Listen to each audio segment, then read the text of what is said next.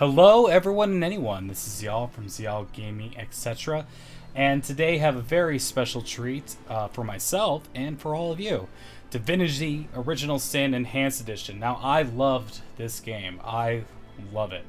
Uh, the original edition, that is. And now it's come out with voice acting and other improvements, graphical, uh, lots of things uh, besides. It's going to be pretty intense. And after uh, a lot of uh, reading out dialogue in, in uh, Age of Decadence, I'm looking forward to the uh, voice actors uh, doing some of the work for me, you know what I mean? So we're going to start up a new game here, going the single player route. And honor mode seems tempting, but knowing me, it's gonna. Uh, I'd like to have the option to back up, but I don't think classic mode is going to be enough for me. So we're going to go tactician mode, which um, it seems to be the hardest difficulty without having only one save file. so tactician mode, go. Everything's been improved here. Um, the graphics. Uh, I'll be pointing out things from the original that have changed since last time uh, as I go along. But needless to say, I'm excited. Now, we got ourselves our heroes here. Now, first off, one of them's got to be named after yours truly, uh, my girl name that it is, and that'll be Ziyal. And I'm not much for using the uh, the custom classes. It's nice for them to get armor. It's kind of almost like what what uh, gear do you want them to start with, in a sense. Um, but I find that uh, what we're to do is we'll start them off with, uh, there we go. We'll start off looking all rougey. Uh, yeah. That's, yeah, we'll work on that in a minute. Uh, we're going to customize and look and see where we want to go with this. So we got the rogue specialty. Uh, AI personality, you say? Oh, that I don't think that picture's gonna work.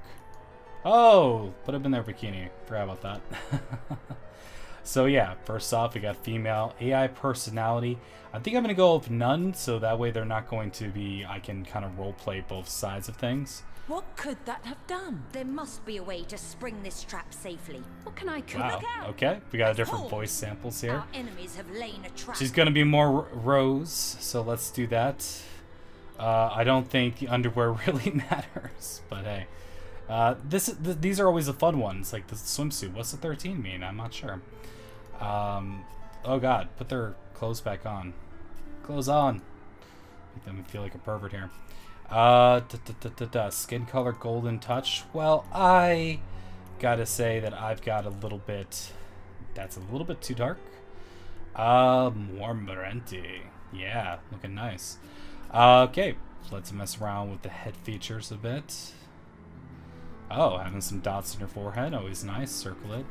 Maybe we'll go hair. Mm, da, da, da. Well, I have to admit, Ziyal from um, the Age of Decadence one was kind of rocking the blonde thing.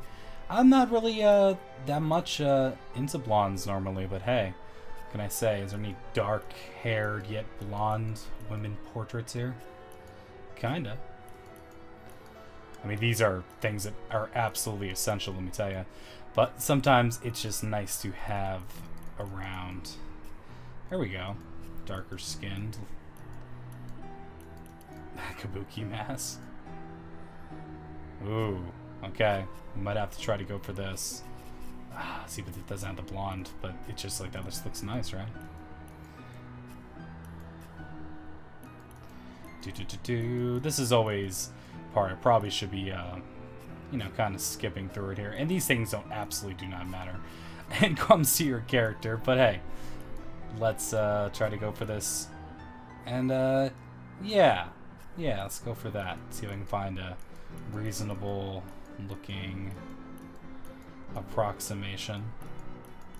Do, do, do. Yeah, this is way more important than skills. Let me tell you. Hmm. Is there any more hairstyles? I mean, they changed a lot of things here. We've got the Princess Leia thing going on. We've got the afro going on. Lots of cool things here. Just so many things. I'm just so excited. What can I say? Uh, we're gonna start with this, and you know what? We'll have them actually match up with the picture, and we'll go white hair. There we go. Okay.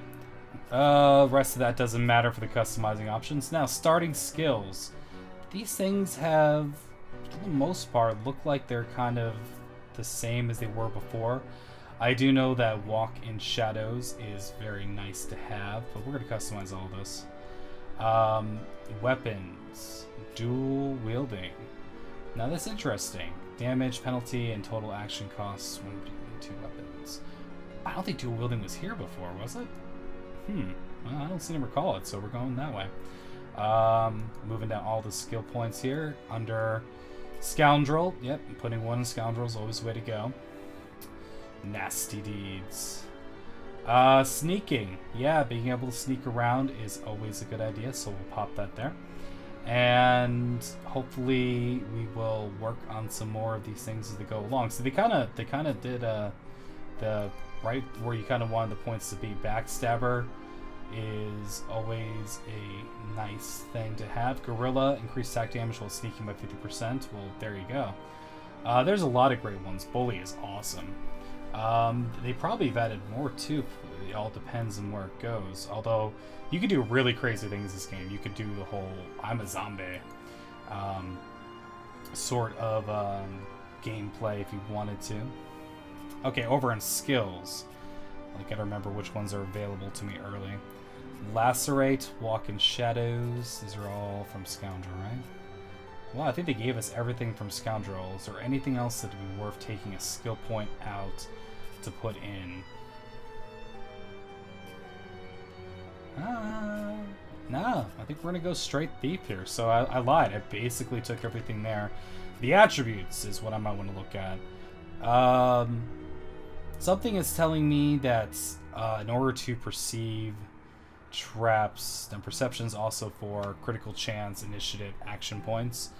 It may be worthwhile for us to perhaps mine dexterity a little bit for that or speed. Can't mine the rest of these unfortunately.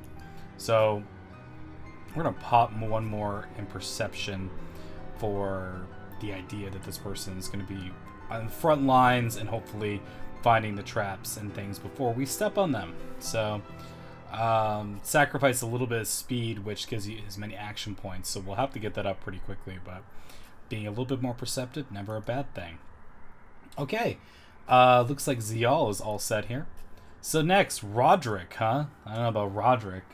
Uh, maybe about to come back to that. I have to admit, though, I do like fighters. Um, fighters have got a lot of good things going for them. Although it's kind of nice to, um, uh, what's this with Knight? Not they have met. Uh, Knight gives them some healing options as well. Um, Ranger, there's see you have to remember um, as time goes on, you're going to be getting some AI friends as well. So you want to make sure that you kind of pay attention. And having played the original, hopefully things don't change too much.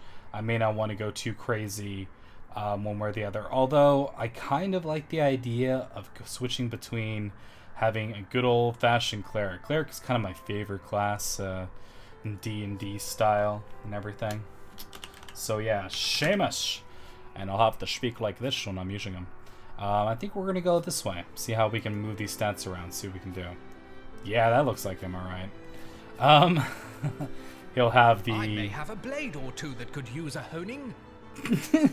Not that one. I may have a Not that or one. two that could use a honing. Okay, that's not as terrible. Golden touch, huh? Alright, come on. Got some old man head. Got some crazy beards. Going on here. Oh, Lord Almighty, that stash is beautiful. I think a tear just came to my eye. So, there's not any crazy beards, right? Oh, look at that stash. My god, the options. Oh, look at that burly, burly man. I have to admit, I'm a bearded gentleman in real life, so when I see a stash like that, I'm like, whoa. Let's do this thing. Hmm. Hot pink, maybe too much. We got the white thing going on here before. There we go. Aged. He looks nice. Let's see if... No. What's the chances we're actually going to come up with a bearded fellow that doesn't... Looks kind of like this picture. Da, da, da, moving forward. Oh, yeah, that's pretty close. Some of, I'm sorry, but the mustaches are just too good. Too darn good. So, Uh, I think we had the best thing we were going to get. Scrolling all the way back to it. The things that matter. There we go. Uh, I, I like the hair. I like the hair. It's, it's swept back. It's windswept. And, uh, hmm, what's he going to be wearing for underwear? Well, I like to think that we're all going to show up to the swimsuit competition. And my god, Seamus, you have been working out, buddy. Look at you. Alright, anyway. um, I can't look at that. Put your clothes back on, Seamus. You're making me all nervous and flustered here. But yeah, going cleric style here. Um, accepting melee power stance. Uh, if I remember correctly, I wasn't too keen on these, but let's see what we got. Well, re regeneration is, is key. It's nice to have some more heals, especially if I'm going on a harder difficulty. We may be adjusting some of this, but let's look at their stats first. Intelligence is going to Elemental and Witchcraft spells, offense rating for intelligence-based weapons. Strength, well, he's going to have man at arms skills and how much can carry, how far he can throw them. Alright, we're going with this. Constitution. Yeah, you're probably gonna have to tank a few hits. Clerics always have to heal tank, right? Um, you know, all this talk of like, I'm gonna create unique characters. I'm like, yeah, let's just use what they came up with. Uh, single-handed, yep. Shield, that's that's all cleric stuff. Armor specialist is very nice. Um, Hydrosophist is definitely got a lot of the better healing spells in the game. So we'll keep that, even though um, somebody in the future is going to be good. I don't really have a talker, is something I've noticed. So I might have to shake this up a little bit and get myself a talker, or maybe not. Maybe I'll just uh, kind of rely on things being the way they are. But leadership is so good. Um, it's really good to have. And Seamus just looks like a leader. So what we're going to do is we're going to take out of Armor Specialist, be a little bit more squishy at the start, and get some good old leadership. Now, Charisma is something that we may have put some points into. I may be putting his points spread a little thin here, but I think that he's got to have be able to use a weapon. Um, certainly not going to have him use a wand. Uh, he's got to be able to be tough. Shield Specialist is going to give him that. Alright, so let's just double check our skills and abilities here. Regeneration's definitely a way to go, although double checking that. Uh, yeah, we're good there. And cancel that, go to the next one. Oh, right, look at all these choices we have. Divine Light. Basically, chances and warm status. Decreases bodybuilding willpower. Yeah, that's cool and all, but I kind of like Let's, uh, how do I unequip it?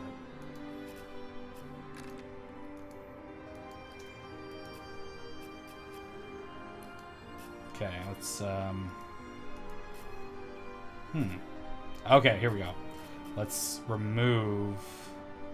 So Divine Light, is that just something I, I have because of Man of Arms Notice? Huh, I wonder if I, I don't know if I can get rid of it, actually. Ah, I can remove it here. Okay. So I want to do setting warm status. Well, I don't really have any things that are going to be able to kind of work off of that at start. So we're going to do good old battering ram. This is a awesome get where you need to be uh, spell there. Then the melee stance, once again, that was chance to hit goes down substantially. So we're not really too keen on that. Um, 9% is struck by Divine Light for three turns. Well, uh, Cone decreases willpower. Uh, you know what? To heck with it. Divine Light sounds cool. We're taking it. And, but we just want to get Battering Ram because I love that spell. Okay, accept. So, Seamus, you beast of a man, you are our leader. May you lead us to glory and to uh, many, many great deeds. Accept. Alright, so here's our two heroes who both got a, the same kind of thing going on, but into the story we go. Are you sure? Yeah, I'm positive. These guys are awesome. In the days of old, The sorcerers of Rivellon cured the sick and healed the wounded through a great power called Source. But a terrible darkness invaded the land, and Source was forever tainted. The sorcerers who once healed now only destroy, and madness has overtaken them. A few brave Source Hunters are all that stand between Rivellon and the dark power that threatens to destroy it. Wherever Source appears, hunters follow. That's us.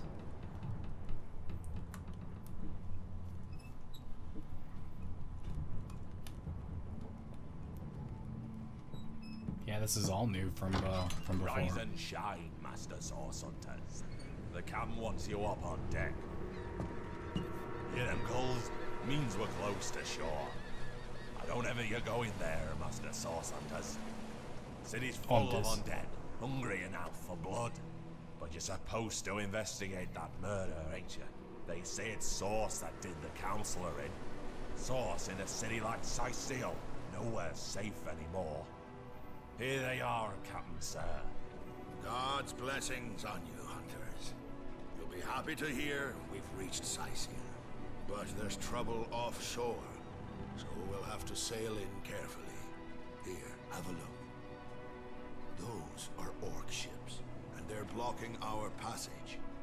We'll get you as close to the city as we can, and drop you off in the beach. Be wary now. Orcs are on the attack.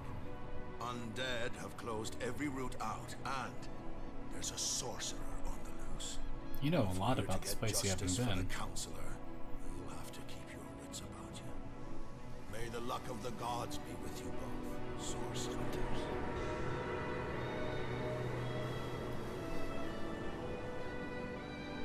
Oh yeah. it's like coming back to an old friend here. This reminds me, um, the uh, Kickstarter for Divinity Original Sin 2 did amazing, which is very awesome to hear because these guys deserve all the credit. All right, and we are going to start up on the beach. Okay, I'm gonna take off these tool tips, and if I forget something, I forget something. And what the heck is that? I have a holy hand grenade. All right, cool. We're all chained together here. And what do you have? A smoke grenade. They gave a lot of these things new new looks. Okay, now this is me reacquainting myself with the controls a little bit. It's a little bit slower than I remember it being. Oh, that's right, sneaking is C. And you gotta love the sneak animation. I'm a tree! Alright, um, I get way too excited about these sort of things. Alright, uh, we're started off in a very finest here. Yeah, fighting knife, yeah, look at that. They made these things nice and big for console users. I may have to adjust it in the future, we'll see. Um, okay, Ziyal's all set. Seamus has got himself a good old club for beating people. Alright, so up into adventure we go. The ships are breaking. Ooh. Oh, autosave. Okay. Which does remind me, make sure to have my... There we go. There's quick save right there. Every crate is important, and every crate shall be mine. Okay, being sure I got the button right. I think it's spacebar also does it. Okay. Do, If do, I do. didn't know there were orc ships raiding to the west, I'd mistake this for a placid beach. At least the orcs make a bit of noise when they attack. It's dark-dealing sorcerers that'll strike with neither warning nor mercy. Awesome. We are devoted to our cause. Oh, what's this? A dead gentleman? Is that a corpse? What's it doing here alone? What, did you expect it to have an entourage? Seamus is kind of a dick. Alright. Dead man. Traveler's journal. By the looks of it, it's tumbled down some cliffs. Okay, have to give that a read. And what's that you have there, buddy? Rain scroll. Oh, yeah. One of those, if I remember things properly, not a bad idea to have that on the ready. Um, okay, so, dead body. Let's see what the journal had to say. Nope. Yeah.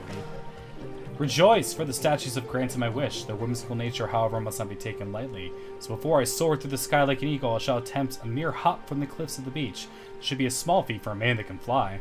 If this experiment is successful, the sun shall be my next target. Well, hold on, Icarus. Hold on. Up. Oh, and this is a kind of Divinity's thing. Now we get to roleplay against one another. Um, and we'll have to Can see how this shakes this? out. The man jumped off a cliff at the behest of some statues, of all things. Okay. Let's see if they actually say it when I pick the first one. Pick number one here. Well, great deeds require the occasional leap of faith. I myself might have done the same.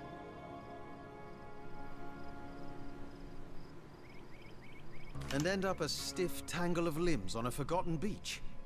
I prefer a measured step to a flailing leap, thanks. Oh, okay. So there we go. Now, this is the trait system, right? Uh, traits. And this is something that you can definitely min-max, although we may just be, uh, for the sake of role-playing and such, uh, I may be kind of keeping things. Pragmatic gives you a little bit more crafting. Uh, but romantic is definitely nice because Lucky Charm just gives you better loot if you find things. But it's important to role play against one another. It's also important to take everything you've ever seen. Poison Flask. Uh, I believe I'm going to have to combine that with something else. The crafting engine, if I remember correctly. No, no, it just says you can use it. Well, hey, if anyone's going to be using that, it's going to be Ziyal. So, moving around, checking everything before I go to places I know things are. Taking all the shells. If I remember correctly, consume. Send to Seamus. We have different ones. It's a different one. Effects unknown. Oh. Okay, maybe it's before you drink them for the first time. Or drink, you don't drink a clam. You scoop it out, don't you? Alright. And picking up all the shells of the beach. Really, like any classic RPG, pick up all the things you can. Now let's see. Here's our map here. Um, looks like the place I was thinking about. Yep, we got to go around here, so we'll definitely be entering our very first little section here. Let's see. We'll try to do the whole sneaky sneaky. Meanwhile, Seamus approaches. What's up? Here, you're a bush too. You're just not as good at it.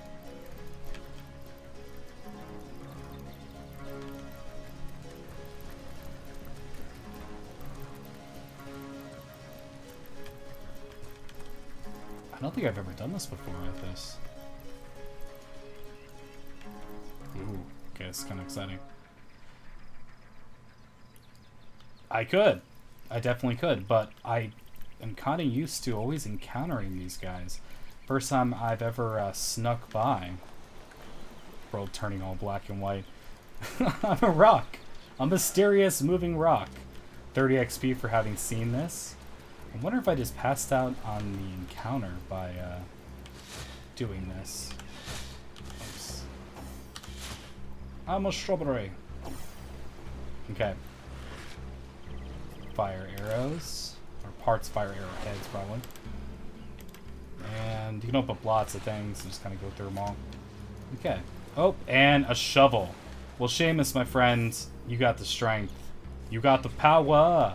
So you will be there to shovel up things as needed. It's uh, surprising how often that comes up.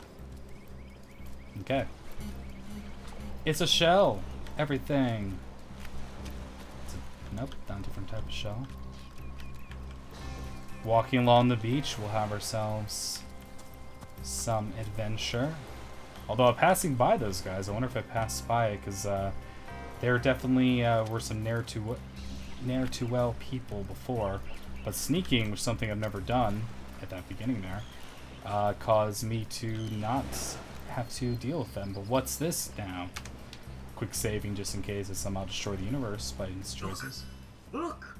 A wanderer comes my way, walking the sands upon which this poor shell must suffer. Who are you, Sir Shell? Call me Ishmael, son of the sea, an outcast upon these wretched shores, an exiled shell doomed to live under a canopy of arid sky, not his native tender water. Strange you can talk. Of course I can talk. Don't be silly. There's more tongue to me than heart. Indeed, the surprise should be mine. For I still remember the days when your kind swung from branches and plucked the vermin out of their neighbor's fur. Wow. You don't seem to remember the past very Time is an fondly. indulgent mistress to one who spends happy hours as she passes. But when your existence is one of misery, she becomes a lethargic hobby. Oh, I remember ancient times. I have lain here since antiquity, when the ruins around us were palaces, and the sun-bleached dead merry children. All this I have seen, alive, alone. Alas, You say you're doomed? my fate is a cruel one, I assure you. How many snot noses have held me up against their dirty little ears, only to claim they can hear the ocean? Of course they can hear her, the brats. We are on the very edge of the great aquatic mother, whose embrace I so desperately long for. So it's the sea's embrace you long for. Yes, I, King of Pearls, ache to repose anew on his hollow throne. Hurl me toward the water. Swing me as far as your arm's strength gives lease. And treasure long sunk I will grant thee. Alright, I'll decide what to do with What you. do you say, kind knight? Will you return the King of Pearls to the sea so he may yield you long lost treasure? Alright. Well, uh, this is one of the situations where we gotta, we got to, uh, do the roleplay thing. Ziyal is a rogue. She's interested in stealing stuff, so... King of Pearls, you say? Well, hopefully she'll say it. King of Pearls, you say? Sounds lucrative. Let's sell him to a local merchant. Seamus is not, uh, gonna go for that. Don't be so selfish. For the sea he longs, so to the sea we should return him. Okay, so we have options here to play the conversation mini game. Since we're both terrible at it, it's pretty much rock, paper, and scissors back and forth. But alright, we'll do it your way. All right, we'll do it your way. Liberator, kind benefactor. Hmm,